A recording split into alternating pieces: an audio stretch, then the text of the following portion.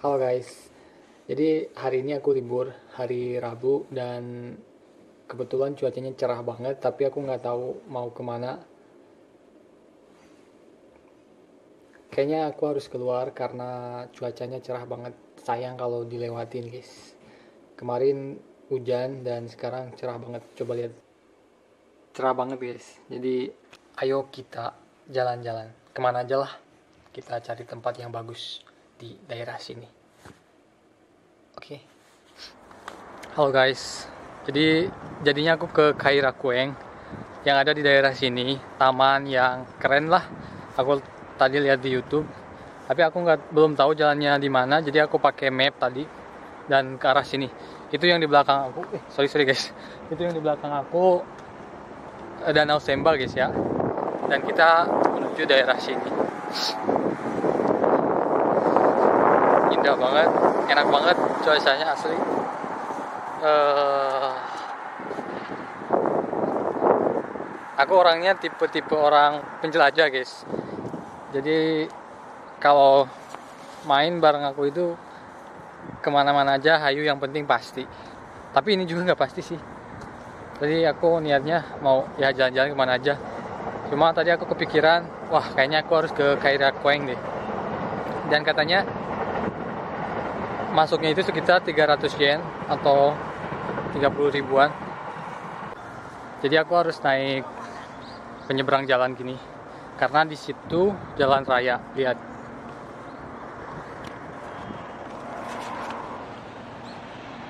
Jalan raya dan kita harus ke sini guys. Tujuan kita ke sana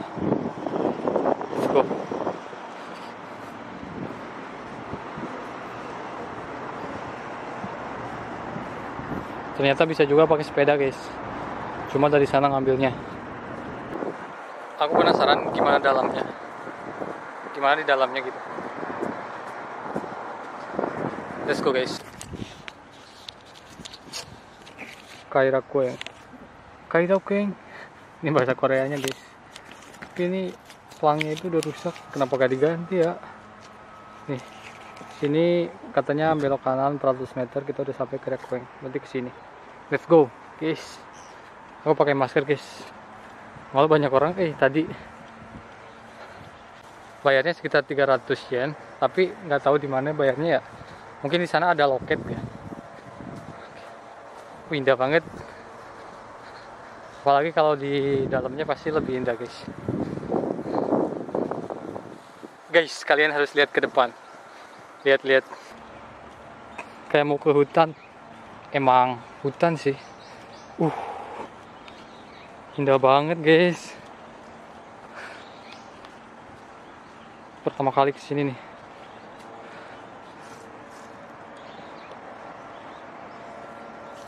Tinggi banget. Si bapak. Halo pak. Cuek si bapak ih. Tuh. Banyak burung juga guys. Coba aja kalau misalnya di Indonesia pasti udah sama yang pecinta burung itu udah ditangkap guys kalau di sini burung apa pun ada. Oke guys. Ternyata itu loketnya guys. Ntar guys aku mau sediain dulu uangnya ya. Guys uangnya 5000 yen sedangkan biaya masuknya itu 300 kayak ada kembalian gak ya masa nggak ada sih let's go kita berangkat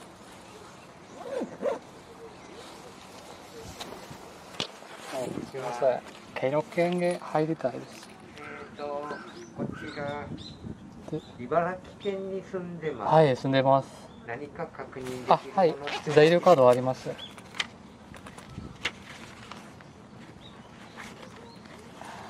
みません。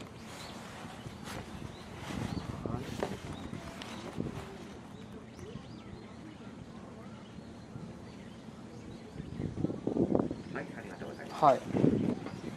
でしたら大丈夫です。あ大丈夫ですかお入りになってください。はいはい。ありがとうございます。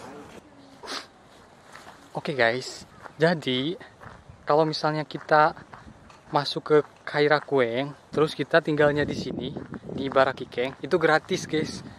Dan aku tadi nunjukin kartu KTP aku yang di sini. dan gratis yes akhirnya gratis tuh kalian yang dari yang bukan dari daerah Ibaraki Keng terima kasih Google. Yang dari Ibaraki Keng.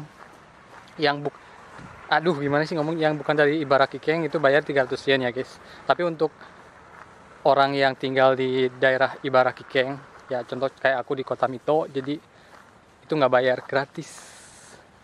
Oke kita lihat-lihat guys ya. Jadi pas masuknya itu ada gambar ini guys kayak sakura gitu. Dan ini dia jalannya. Let's go kita lihat-lihat.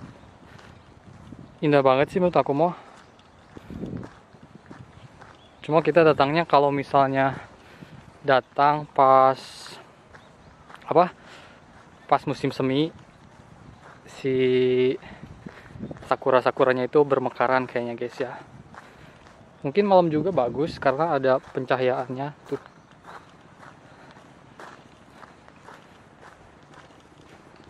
Kita ke sini dulu guys ayo kita lihat ke sana. Sini kelihatan banget danau sembal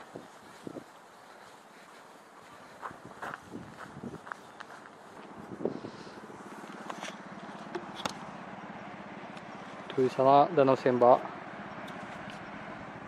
Ini ke bawah nggak tahu ke mana. Tapi aku mau ke sana dulu deh guys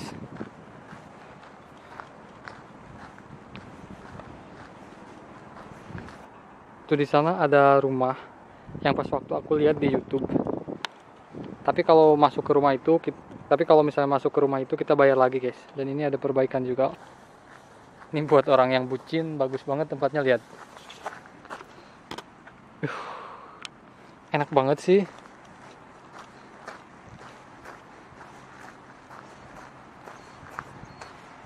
Kayaknya aku harus duduk di sini tuh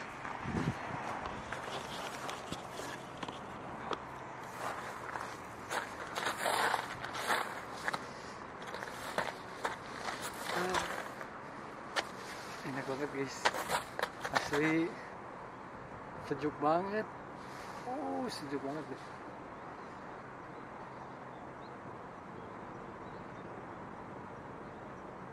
Kalau bahasa Sundanya itu kalau bahasa Sundanya itu guys ti istili herang panon.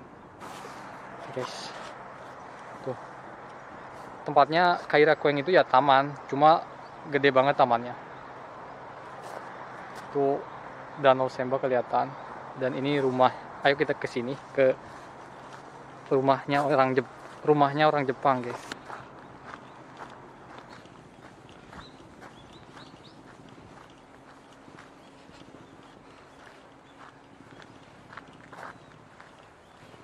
Kalau musim gugur main ke Rakueng itu kurang mantap ya guys.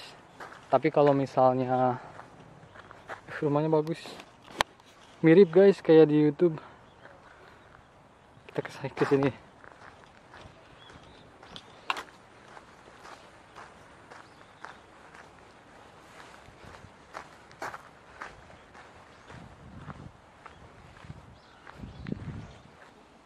aku harus ke sini. Tapi bentar aku mau ke dulu guys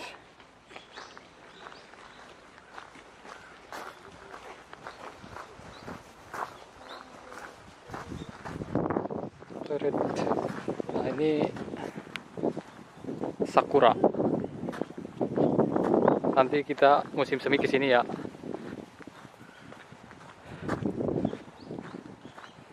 Toilet. Toilet. Teh arai. Kita toilet dulu guys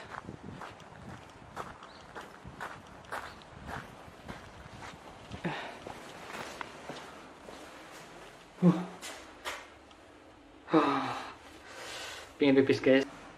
Oke lanjut guys. Kita keliling. Let's go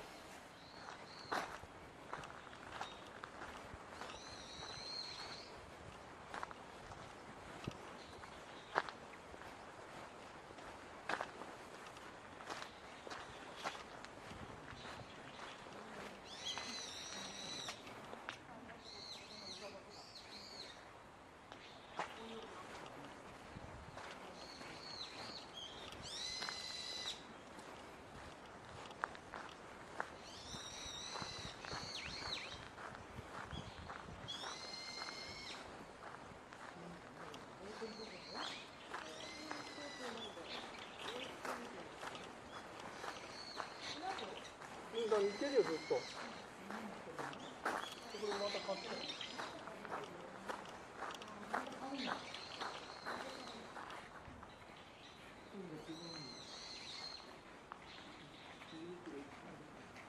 戻ってもらって戻ってもらって。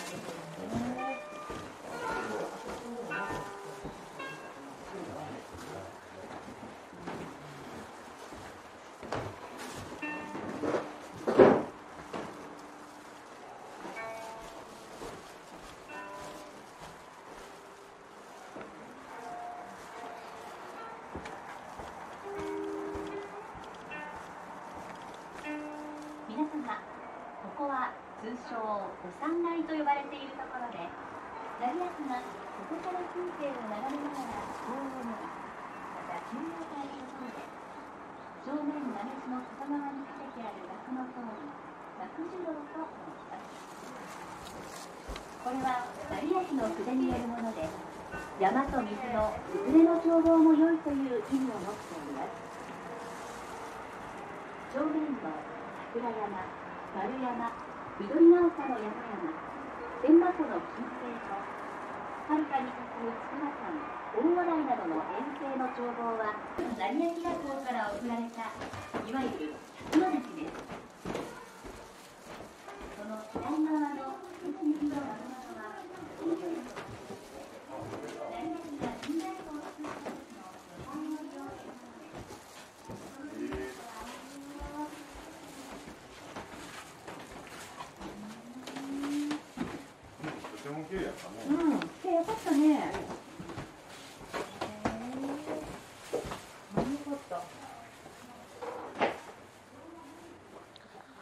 Oh guys, jadi aku tadi udah masuk ke rumahnya. Wah gelap, nggak kelihatan aku. Rumah tradisional Jepang dan bagus banget asli seriusan. Nah dan sekarang aku masuk ke eh, pohon sakura, daerah pohon sakura kayak gitu. Ini buntu guys ke sana. Jadi kita balik lagi dah. Pokoknya kalian terima kasih yang udah nonton sampai akhir. Hmm gitulah. Kayaknya ini kalau misalkan mau main ke Kairakueng ini apa ya enaknya pas waktu musim semi atau haru ya guys. Jadi nanti si sakuranya itu bermekaran. Ini pohon sakura semuanya guys. Betapa indahnya anjay. Betapa indahnya kalau misalnya musim semi ke sini guys. Asli seriusan. Ya udah guys ini baterai tinggal sedikit lagi kayak di tempat gersang kayak gitu tapi bawahnya hijau ada rumput gitu Oke guys ya, terima kasih yang udah nonton. Eh, by the way, masuk rumahnya itu 200 yen guys. Terima kasih guys ya yang udah nonton. See you di next video. Bye bye.